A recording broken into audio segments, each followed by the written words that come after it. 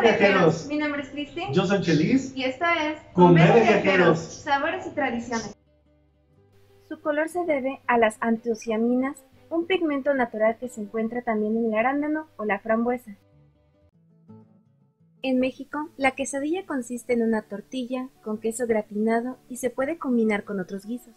Para sofreír la cebolla necesitamos dos cucharadas de aceite. El tomate rojo y el chile se molerán con 200 mililitros de agua. Una vez caramelizada la cebolla agregaremos esta salsa.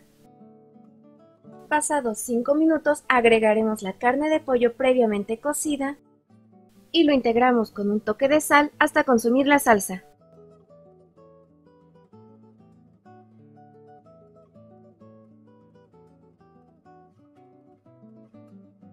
Para preparar nuestra masa ocuparemos dos tazas de maíz azul. Este lo pueden encontrar en cadenas comerciales ya preparado o igual en su molino local pueden llevar los granos de maíz azul y que los trituren. Una taza de agua, un poco de sal y sería todo para preparar la masa. Agregaremos el agua de a poco hasta que la masa tenga una consistencia más firme.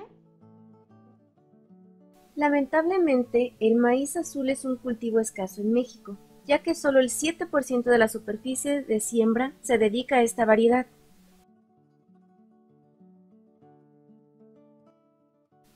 Sé creativo y combina con el guiso que más prefieras.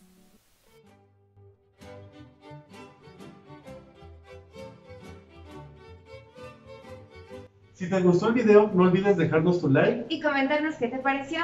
Hasta, un próximo viaje.